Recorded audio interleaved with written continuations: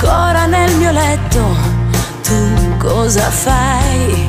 Così innocentemente, ma innocente non sei come me, come tutte le scelte, come tutte le volte